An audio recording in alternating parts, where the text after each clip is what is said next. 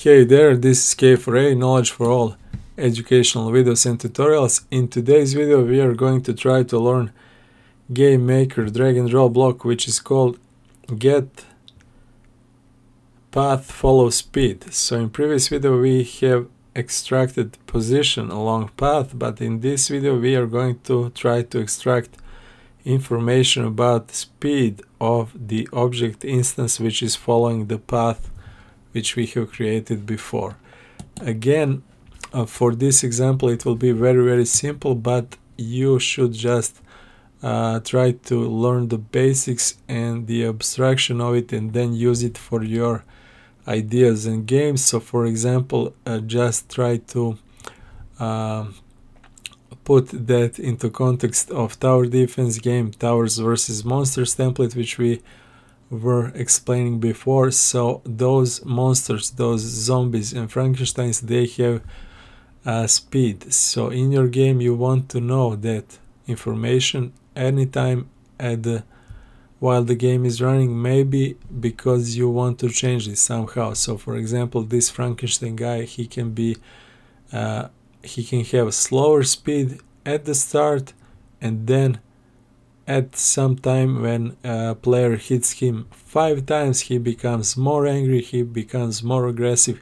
So he is now faster so we know we have to know what his speed is in that exact moment and then speed him up. Same with uh, the position which we have explained before. So that could be example of where to use it. So let's see how to use it or how to define it with blocks uh, similar to previous video where we have defined position or to be more precise get position. Let's try to find this guy here. Again it's in the paths blocks and we have those open here. They are below the room group of blocks and above the timelines group of blocks. And we need one which says get path follow speed so not set, but get. Get path follow speed. It's very similar to this get position along path. It has some kind of check mark, so don't confuse them. This one has three arrows like uh, it, it um, symbolizes speed. Uh, get path follow speed, get the speed of the instance following a path. Click and drag it here. Again, same principle, and that's why I'm explaining uh, some of those one by one in a row because they are very similar and the uh, whole idea behind them is similar. Again, uh, GameMaker says, okay, what do you want to get? What do you want me to give you? Give me speed by which this guy zombie follows the path okay and do what then do with that information, put it into some kind of variable, which I will call in my case, case um, path uh, underscore uh, speed uh, underscore zombie. Okay, so uh, again, I have extracted some kind of information and I have put that information in variable. That alone, uh, alone doesn't do anything. I have to use that variable now and show it on the screen. It is in, in my variable, but again, if you don't say what to do with that information to GameMaker or any other game engine, he doesn't know. So I want to draw that value. I can copy paste this guy here, but instead of uh, caption position I will change that to caption uh, speed. Okay and instead of variable zombie path position zombie I want to show this guy here path speed zombie now. So copy paste it here. Okay and instead of showing that above my head I want to show it below my zombie and I want that to be with 70 pixels below him because again my zombie I think uh, sprite for my zombie has its uh, pivot point in top left. Yeah you can see here. It's here instead of middle center. So that's what is making this problem. And this is again very very normal behavior. When you create games you have to change all of those and um, go step by step back and uh, forth. Okay just let me let me uh, let me see what I have done now. Okay I am extracting position and drawing that. I'm extracting speed. I'm drawing that. And again this draw event this whole event here he is um, it is uh, done uh, frame by frame uh, many times in seconds 30 to 60 times per second. So this is very heavy on game engine in terms of you don't want to go crazy here with code. Uh, you want to use it for testing and draw anything.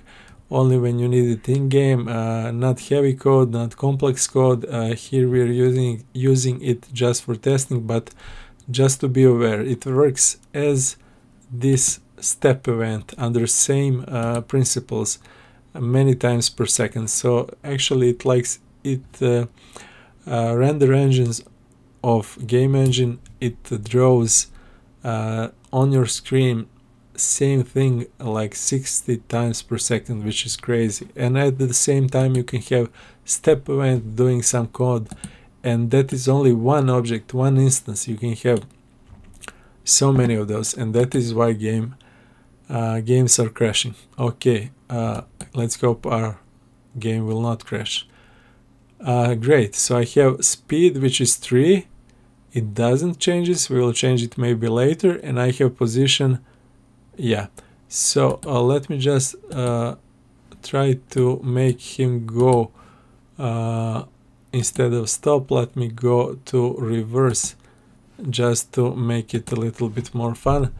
And maybe uh, put it into perspective of uh, side by side so you can see it.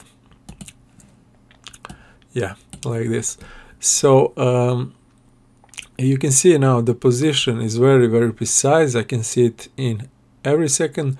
Speed doesn't change. Uh, again that is because of my example my game. For your game if you have like enemy which changes the speed or NPC or particle or whatever you are using to follow the line the path you can change it but the whole idea is here to just show that information get that information extract it.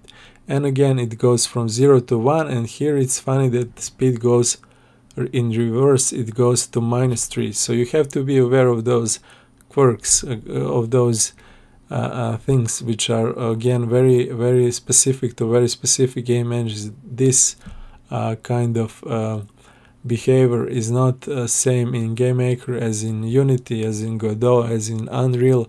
So some kind sometimes you will make some kind of mistakes just because uh, you think the speed on your screen in reverse in your game will be 3 when the guy goes back but actually it's minus it's minus 3 and things like that. It goes from 0 to 1 uh, it's also uh, not in x and y coordinates of your screen but 0 to 1 0 0 like 0% 1 like 100% so those are very very specific things and that is why for example people who uh, use one engine uh, and use it a lot or for a very long time to develop some game uh, they are not um, stay in it. They're not very uh, uh, very easily transferred to, to some other just because of that. They need some kind of feature or just because they love or uh, some uh, engine. No it's it's because you have uh, invested so much time to learn it to create something in it and it's very specific. It's not like you can transfer one uh, on on those details or one type of knowledge into another but on basics it's it's more or less the same. Uh, that was for this uh, 9 minutes 10 minutes. Okay that was for this example. We now have the speed and um, the speed and position. We have learned that how to extract those information. I want to try to fix my uh, guy movement zombie movement on the screen first of all and I think yeah I think I have an idea. I'm not sure it will work so if you don't have time don't watch it. Maybe this won't work but let me uh, try to do it. So um, zombie when it starts I want him to start with path enemy with the speed of 3 and on the end to let's say stop for the start. Same when um, okay that was when the, my zombie starts and go from absolute through start. Okay go from this position as a start that's an absolute start that's cool. That will work. And it will stop when uh, he reaches the end. That's what we have done before and that worked okay that's cool. Another thing which we have coded is when I left click on him stop following the path. That also worked but the problem was when I right click the guy here the zombie instead of him just continuing following the path which was original he creates new one and goes up and creates uh, starts uh, starts moving along new one. Uh, that's actually some kind of problem which I think I know why it happened but it didn't happen in my other GameMaker test. I will show that if I don't solve it here. Uh, I think it um, started here because I have copy pasted this guy here. I think I did that. I'll check my video. I have right clicked copy then go right pressed pasted. And somehow it remembered and uh, created some kind of like metadata for this guy so creates he creates new path instead of uh, following the exist existing one. Okay so instead of copy pasting this guy I will just create it from the scratch start following the path path enemy with a speed of 3 and I don't want him to go from absolute. I think this may work or maybe I need to uh, delete the whole event. Stop. No, it doesn't work, so let me let me delete uh, because this this works uh, which is very funny in other um, example I have uh, made in uh, another GameMaker file. But here I have a problem. Okay so this is a final uh, final uh, try. If it doesn't work uh, yeah it's the same path. I don't see the reason okay uh,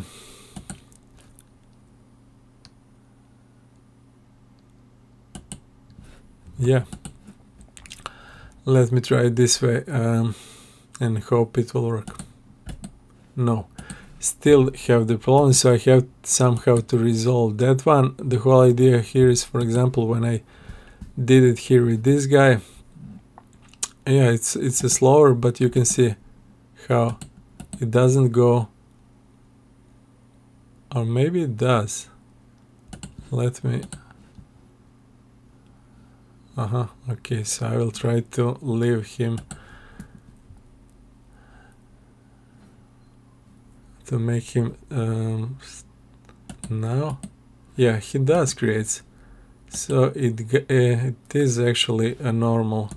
So we have to solve that. I'm, I owe you that one anyway 15 minutes uh, see you in the next video. Thanks for watching and uh, bye for now